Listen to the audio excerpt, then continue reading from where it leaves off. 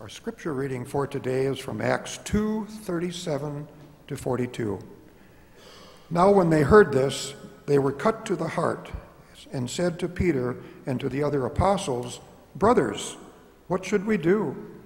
Peter said to them, Repent and be baptized, every one of you, in the name of Jesus Christ, so that your sins may be forgiven, and you will receive the gift of the Holy Spirit.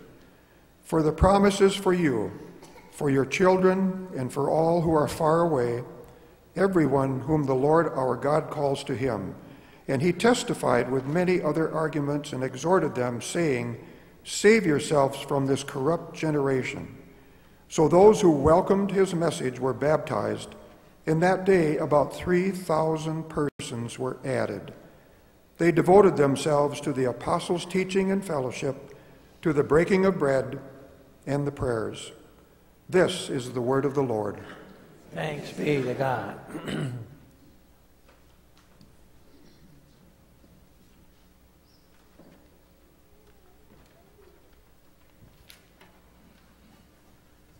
Again, I want to thank all of our musicians, our adult and children's choirs.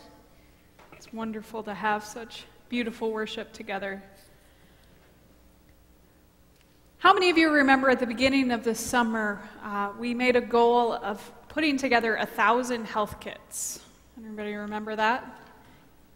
Anybody remember how many health, health kits we actually put together? Put 706 health kits together, which isn't a thousand, but First UMC put a total of 1,112 kits.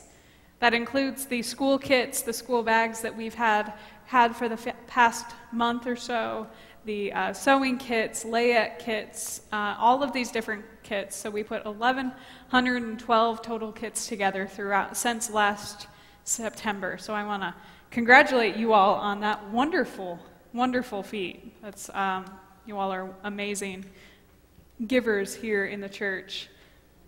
Yesterday we had our Dakota Marketplace uh, which was in our gym. It's a conference wide event that happens uh, once a year, and this, all of the around the conference, people, especially in our area of the state, people were bringing their kits. You can still see the uh, truck in the parking lot back. They were bringing their kits and they were bringing other supplies to be auctioned off, to crafts to be sold. In total, including the uh, monetary value of the kits that came in yesterday, and the money that was raised, it is estimated that $121,000 was raised yesterday for hunger here, hunger and missions here in the Dakotas and around the world. So, that, yes.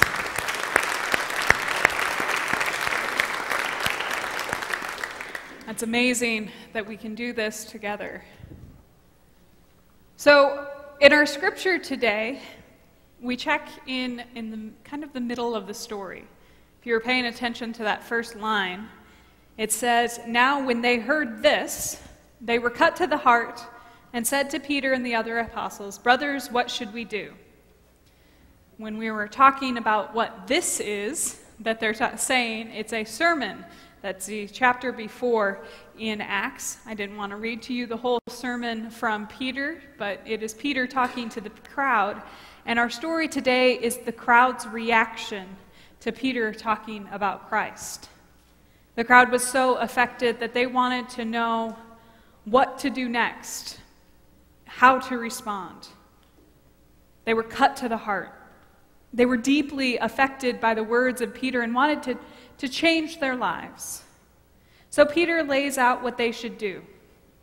They should repent and be baptized. They should study the scriptures. They should have fun together, fellowship together, break bread together, and stay in prayer. This is one full schedule if I've ever seen one. Basically, Peter was telling them to turn around and refocus their lives. Now, for those of you who are like me, we think sometimes that we know where we're going. But I want you to watch this clip. And actually, if someone standing next to the lights could dim the lights in the dome before we start, somebody did that in the last service on? and that helped. Just pay attention. ice. That's ridiculous.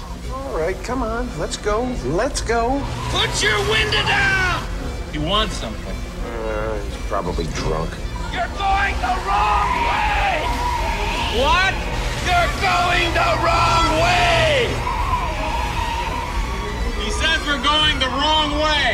Oh, he's drunk.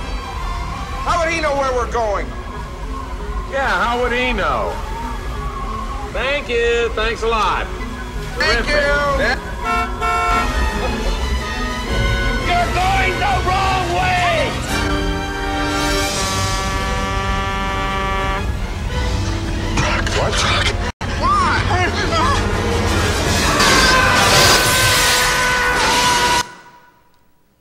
Okay, so this isn't a very important clip, but it's pretty funny. Uh, this movie is called Planes, Trains, and Automobiles. You can turn the lights back on. Thank you. Uh, Planes, Trains, and Automobiles. It's the story of these two guys, and they're trying to get home for what I think is Thanksgiving. I might have that wrong. Um, and they have many travel mishaps. Their planes don't function right, their trains uh, aren't perfect. And after this scene, the car, I believe, loses its doors and becomes kind of a burnt out shell. But they do made it, make it home in the car all the way uh, home. But this is, this is how we work sometimes. We get pretty focused on the end result and we forget about the journey in between. We go the wrong direction, even when we know what our destination might be. How many of you have been hiking before? Hiking? Quite a few of you. Uh, I've ever get lost. Anybody ever get lost while hiking? Yeah.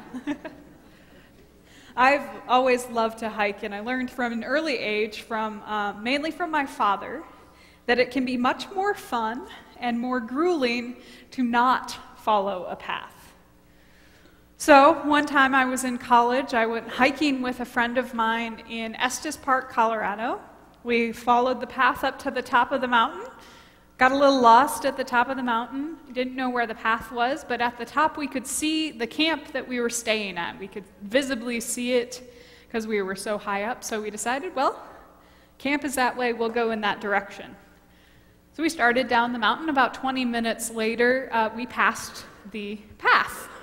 And the path was going in the, a different direction off to the side, and we knew that camp was going forward, so we decided that we knew what we were doing more than the path, and uh, we just kept going.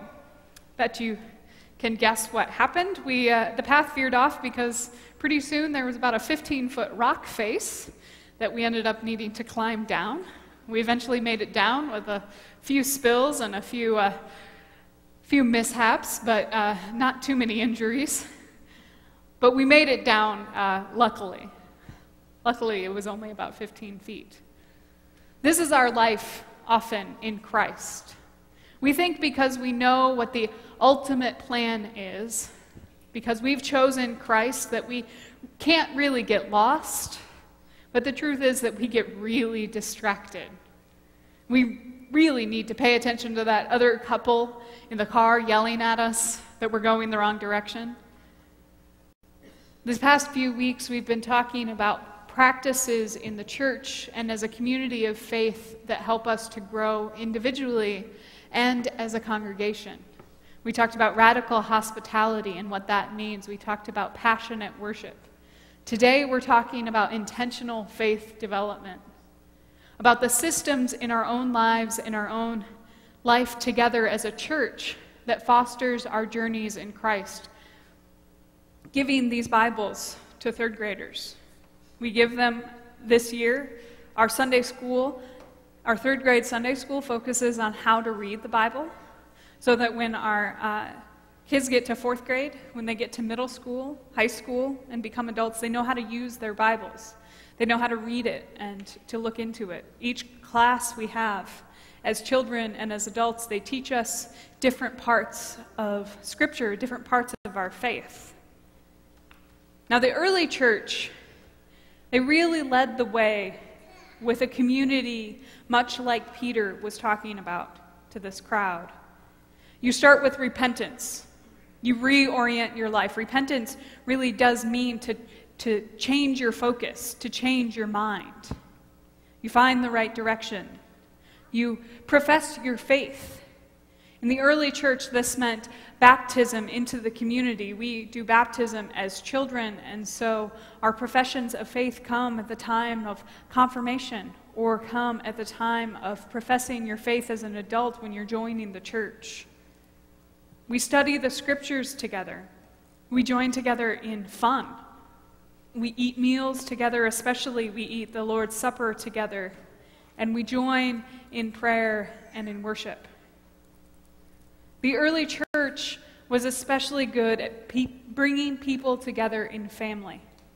They called each other brothers and sisters. In the book in which we're basing our series, Bishop Schnase tells the story of a young mother, a widow, an outcast. She would go about the business of her day, baking bread, filling her jar with water from the well. She struggled as she thought about feeding her children and herself after her husband had died and she no longer had any means of making money. They barely survived the loneliness that she had never imagined met her when she became an outcast. As she did her work each day, something started to change. She started to think about these stories. The story she had heard the night before when she gathered with her neighbors for prayer and supper. It was the story of a woman who met Jesus at the well and how Jesus talked to her about living water. Hearing this story taught her to think of another, of Jesus touching the man who had been paralyzed for so long, telling him to walk. Then story after story cascaded into her mind. She thought about shepherd and the sheep, the woman and her coin, the, the two women crying deeply for their friend, and the joy of an empty tomb the poor widow giving more at the temple than all the rich people. She smiled to herself as she thinks about that one. She heard about Jesus for the first time only a few months earlier, and now his stories, they had become her stories. Word had spread early about his horrible death, and then amazingly about his being alive. And his followers were gathering. They were gathering first in Jerusalem and then across the countryside, and, and she was a part of this movement. She began to listen and she began to make it her own. And the people who told her these stories, they invited her into their homes, her an outcast. Everyone knew that she would she was destitute without a husband, but they treated her differently. She and her daughters, they ate with them. They received more than they could ever repay, and they prayed for her and with her and her daughters, and she prayed with them. This unexpected kindness and love changed her life. Suddenly, she didn't feel alone and abandoned. She was a part of a family, a part of a community, and her life, her life counted for something. She couldn't get enough of these stories. She wanted to know more, and she wanted to tell people about them. They, these stories, they filled her life so that the burdens of her day no longer focused her day. Yes, she still had to go to the well and get water. Yes, she still had to find food for her family. But each day she had Christ and this other family in her life, and suddenly the burdens felt lighter and the days more full of life. You see, this woman, this story, these are, these are the stories of the early church, the stories of the thousands who began to make up that community, the thousands who began to follow the life of Christ. They, they took their lives and they put, came together. They came together to study, they came together to learn, and they came together to be a family. As the centuries continued, this story continued again. Again and again, the community of faith made time for each other. In the 1700s, the story continued. John Wesley, the founder of our Methodist tradition, truly believed in intentional faith development. He believed in community and accountability. He believed and taught that Christians were to live their lives working towards perfection, living their lives better each and every day. a life of striving to be like Christ, a life of moving forward, of backsliding, of starting over, but all with Christ as the goal. This woman's story continues in the lives of others. There was a man who had been working all day in the fields outside of London. He had been working from sunup to sundown, and when he got home, instead of following the example of his fellow workers, he, he cleaned himself up, he ate a small meal, and he began to clean his home. And he began to pray for those who would be coming as a, as a Methodist class leader. He prayed for each person who would come. One by one, they began to show up. They filled his room with a laughter and a warmth that his stove could never have filled it with. These men and these women, they also spent their days working hard, some in, in stables and fields, others in shops or kitchens. When everyone had arrived, he reminded them of the promise they had made to each other to attend upon public worship of God, include the reading and and study of Scripture, receive communion, and commit to praying for each other every day. He read them about their promise to watch over each other's souls, not just watch over each other's bodies, making sure they're fed and cared for, but their souls, making sure their spirits are focused on God. He led them in their singing and their prayer, and they all shared their week they shared their joys, their sorrows, their triumphs, their tribulations, they, they, their times when they felt that God's grace couldn't be more apparent. They prayed together, they gave an offering, and they parted from one another, saying that grace be with them. And this man, this class leader, he, he cleans his house. He goes to bed thinking that his life is no longer about making a living. The hard work he does in the field is not what his life is for. His life is for the care of souls around him, for the care of his brothers and sisters in Christ. As Methodists today, we continue this legacy. We pull together groups of unlikely people we gather as a community and we gather to live our lives according to the standard of Christ.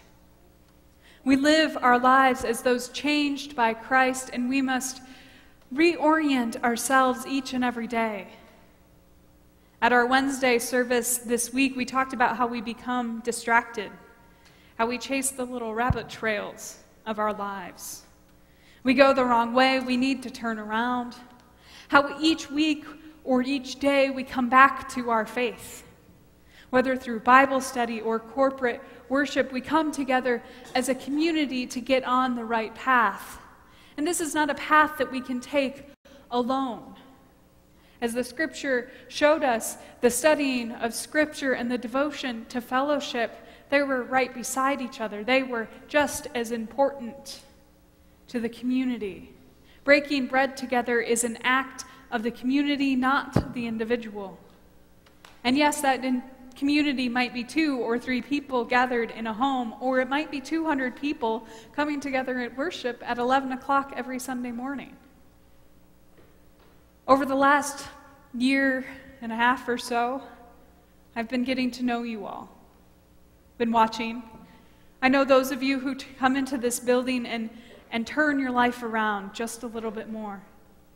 You refocus your week or your day.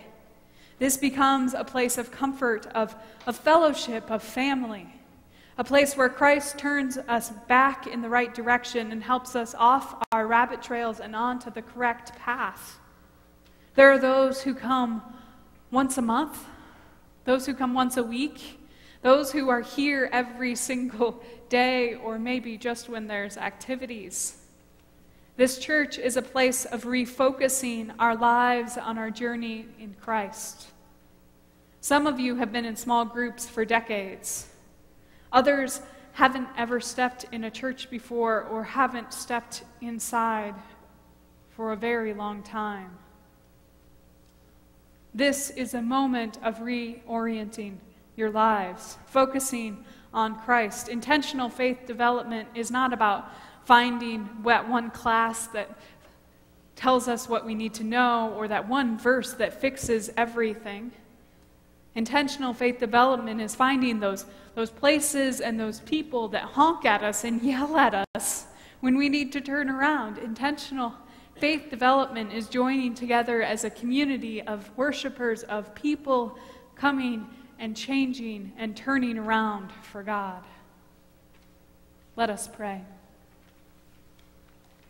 Heavenly God, you are our right path. Our journey through life is a journey meant to be with you and with those around us. Help us to stay on this path, to go the correct way, and to listen to those who are screaming our name when we go the wrong direction. Help us to reorient our lives to your name. And in Jesus Christ we pray. Amen.